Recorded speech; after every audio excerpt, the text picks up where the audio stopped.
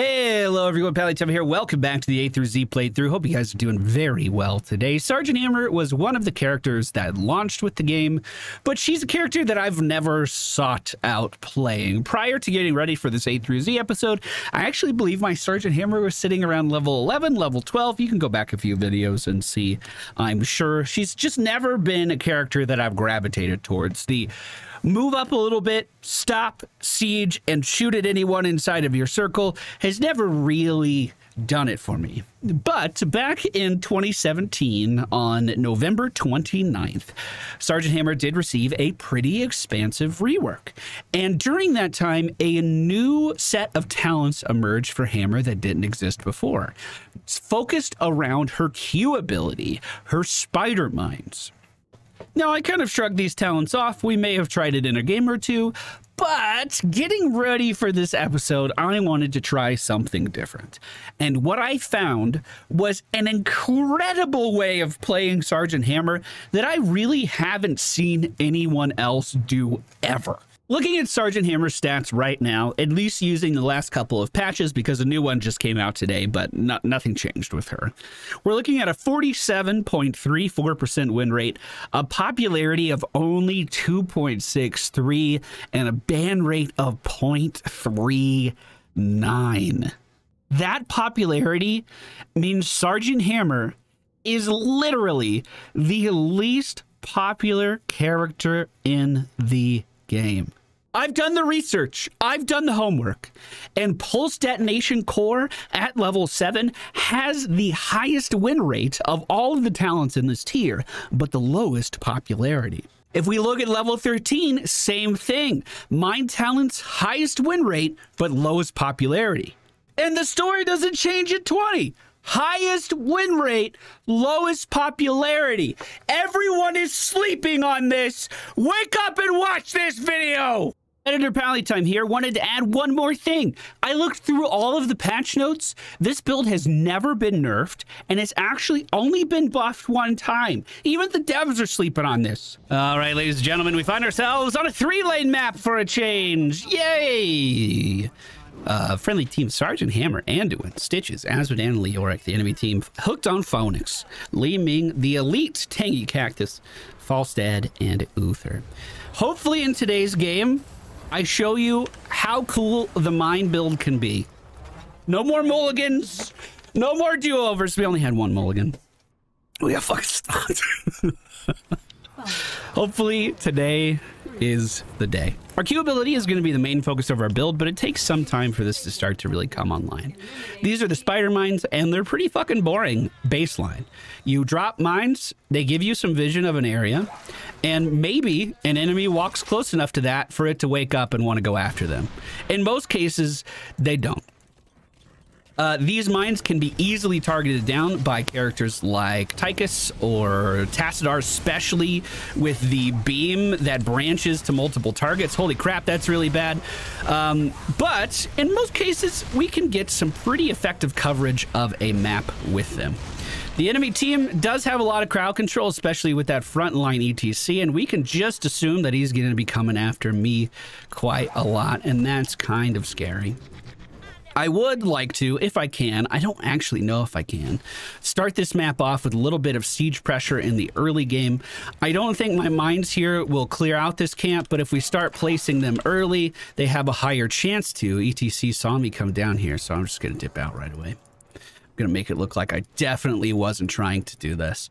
We can get one more stack of mines down here as well. Doing it now before the first stack fades push all of these guys into the corner, and that's the baseline mine damage. Like I said, it's not very impressive on its own, but by pushing all of these guys into the corner and then getting into siege mode, I should have probably not hit the one in the middle, we can then splash our damage to the other minions around. The siege mode is our trait. It basically increases our attack range to be anything the blue line can see, and then while we're not in siege mode, okay, while we're not in siege mode, uh, we can see where we'll be able to attack by this kind of staggered dotted blue line. So starting things off with a little bit of merc pressure against this enemy team. I don't know where any of them are right now, so sieging here is kind of brave. Uh, and I don't have my thrusters either, but we do have an Anduin who pulls me back into his warm embrace. Uh, let's start off with a sippy cup here as well. Uh, the enemy team just slightly behind us on XP, not that big of a deal at all. We have two different things we could do here. We could go for a regenerative biosteel, which just allows me to heal myself when I auto attack inside of siege form. I like this for general quick match because it just means that I have my own self-sustain kind of built in.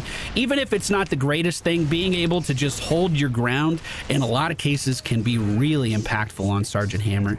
While I was practicing practicing this character, I went up against so many Li Mings, so many Kel'Thuzad, so many fucking just hard counters to what I'm trying to accomplish.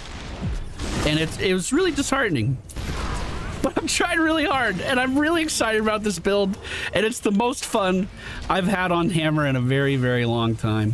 Fenix trying to move in here. Let's just siege. We should be able to hit him over the wall just a little bit. Stitches right in there on the front line, creating a lot of space for us. I'm going to siege inside of the objective range, but like only where the minions are. Minions are my main thing. And we're going to continue to put spider mines down as often as we can. I should probably reposition here just a smidgen. Uther trying to run it down. Falstad joining him. Everyone on the enemy team jumping on me. We're going to give myself some armor, put down some more spider mines, and act like none of that just happened. Team is doing a phenomenal job of taking care of me so far. Falstad trying to engage on us. He does land the lightning rod. That's hitting quite hard. Sippy cup down for another 27 seconds. I have found that while playing Hammer, I became the sole focus of my enemies, even if I'm not sieged. Just the threat of Hammer oftentimes is enough to totally sway people into attacking you for really no reason.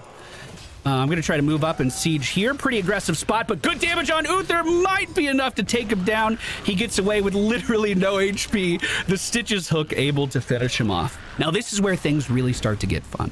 Like I said, our minds up to this point have been a little, you know, on the lackluster side. But now our mines will detonate three times instead of just one. So we basically have nine mines down instead of three. I think that's a great way of thinking about it. While we're in siege mode, by the way, these mines can be placed significantly further. It's based on our attack range. So if we want to throw them out further at enemies, we certainly can. Also, by taking that level 7 talent, we give ourselves the ability to lower the cooldown on our mines and also return mana to our character whenever we deal damage. Both are very, very strong things. So let's look at a comparison. Like, this is the same amount of damage as three cooldown of mines mines that we did at the beginning of the game. Do you see that? That's just crazy. That's really, really good. And with our self-healing now, we can actually take the damage of this. I just realized I turned Sergeant Hammer into a mercenary camp clear. Oh, that's what I've been doing. Oh. That's why I've been having fun. Fuck. Someone left a comment a little while ago, and it's just like every episode of the A through Z so far has just been Pally talking about taking camps. And I was like, I don't think that's true. That doesn't sound right.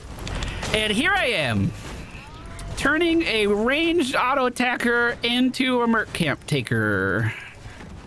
All right. All right, I'll just live with that. I'll live I'll live with knowing that.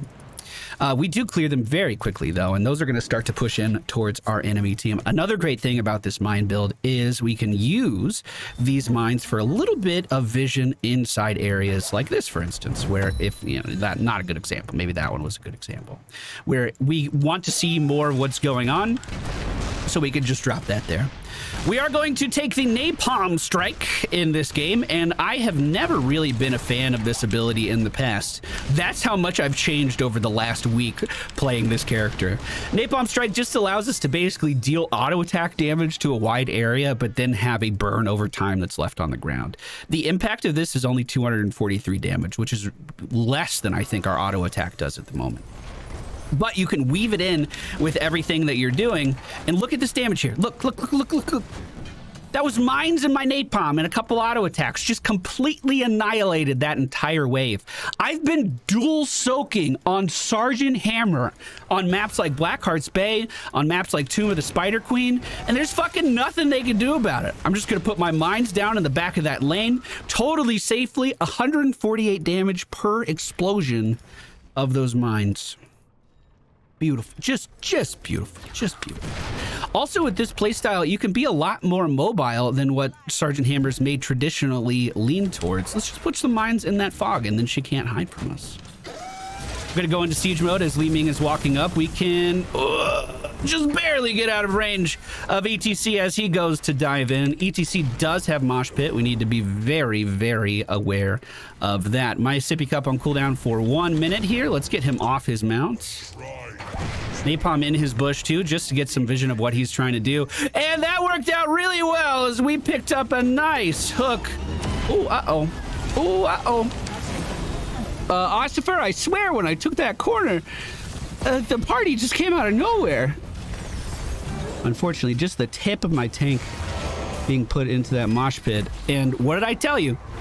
Every time someone has an opportunity to focus hammer, they're going to do it. That planet cracker, that was on me. The objective is coming up here pretty soon. Friendly team about a half a level ahead on XP at the moment. Uh, we do see Falstad giving our Leoric a little bit of a run for his money.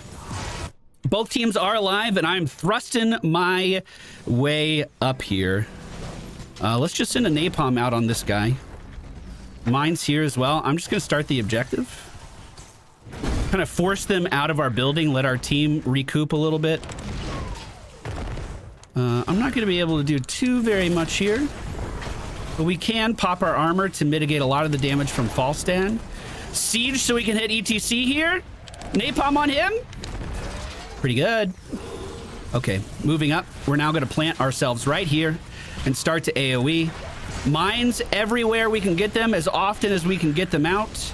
I might be able to have slightly more aggressive siege positioning here, actually. I wish I had mine set up for that. That would be so fun, actually.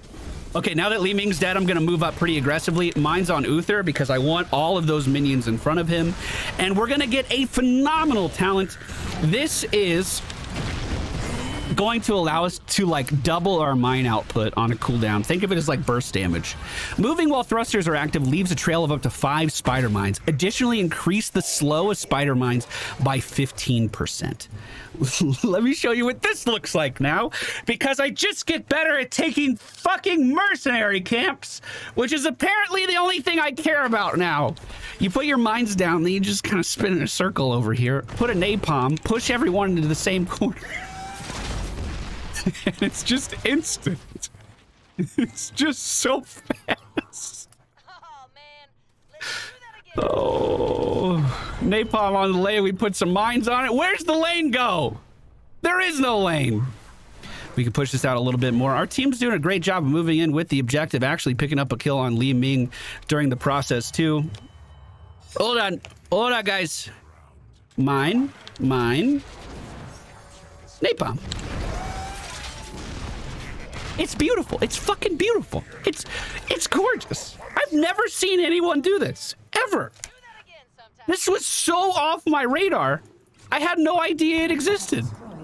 We have teammates here, so we don't need the sprint. We'll just put the napalm down. We could blast all these guys into the corner as well. Such as taking over that camp. Now, the downside to this is I feel like I really have to save my sprint cooldown for the mine activation, uh, which is weird. So like in team fights, I may not have my sprint to save myself. I'll use my sprint to initiate. That definitely takes some fucking getting used to. Uh, we clear another camp at the top of the screen. This one takes a little bit longer. That's totally fine. We're going to pick up Giant Killer here. So all of our auto attacks do percentage damage. I believe this one's unique to Hammer. No, it's not. It's not. I thought there was additional benefit from being in siege mode. There's not just the increased range. As we're rotating around the map, if we don't know where the enemies are, we just leave mines everywhere we go. We can napalm on that wall, auto attack this wall, remove enemy team sight lines. If we think they're to rotate in on me here, mine that way. Falstad in the lane beneath us, although I don't have my most important cooldown for a few more seconds. Napalm the Wave to follow up Azmodan, although his clear is looking excellent. Three members of the enemy team pushing top lane at the moment. Wow, we actually have a lot of lane clear. Honest team. I didn't realize that. Looks like this fight is continuing above us, but I have to do just the slow, steady march toward it. Uh, ETC looking like he was about to get in siege mode there. We're going to try to chase these guys to cut them off with some mines on the path. We caught up to Uther. Is it going to be enough? Siege mode takes him down. Let's go uh, give ourselves a little bit of armor here as we're trying to siege into the enemy team's base. Mines on top of Li Ming is like, oh, fucking Li Ming hits so hard, bro. And look at that, a fucking raw dog ult for no reason. I'm just walking through the map and we still get ulted. Fenix being forced back a little bit. Uh, I'm just trying to make it back to a sippy cup, which is off cooldown. I should be able to heal up really nicely. And wouldn't you know, my internal timer never fucking turns off, boys. We're back just in time to do it all over again. The objective is active, or it will be in 30 seconds, so having these out and pushing can be good. Although my timing's a little off, actually. We probably should delay just a little bit. Probably should delay just a little bit. Moving down to the bottom lane now. More mines on this location. Just leave them there. This will be pushing during the objective, which can be very strong. We have a three-level lead on the enemy team right now, but they are going to be on the same talent tier in just a moment.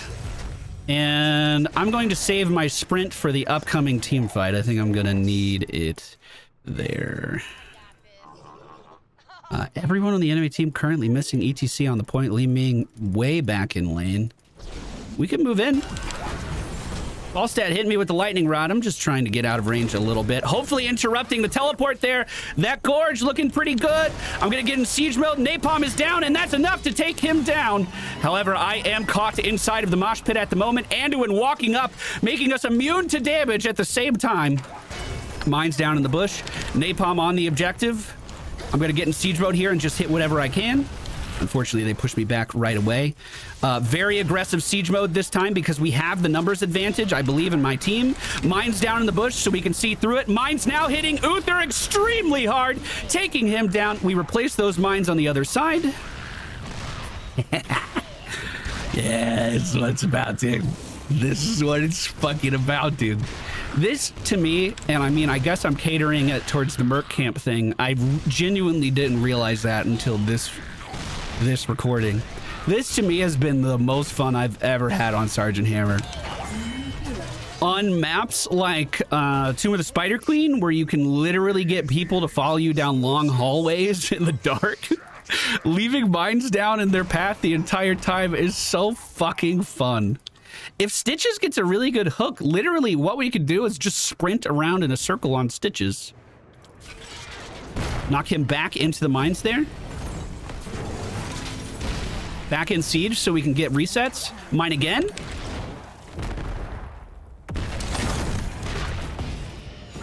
Mine again.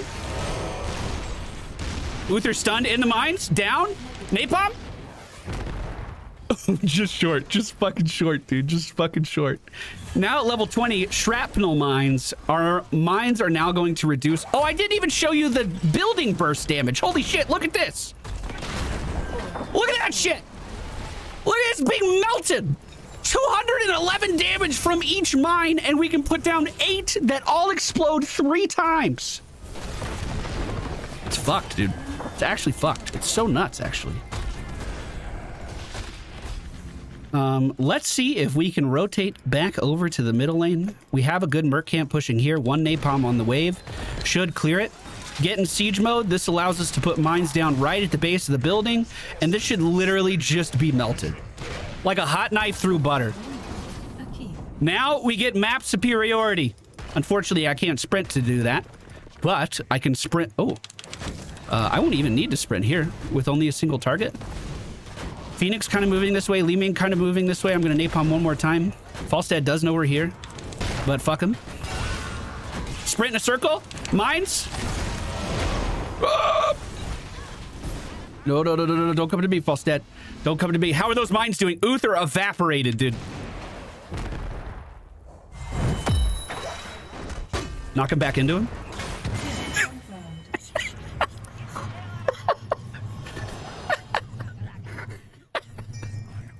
Fuck yes, dude. Fuck yes. Come on. Fuck on. And then like this, this really, I think I could take this with this low health. Best, Thank you, Anduin. Yeah, this took a lot of practice. This did this didn't come naturally. I played, I want to say like 20 fucking games of Sergeant Hammer over the weekend.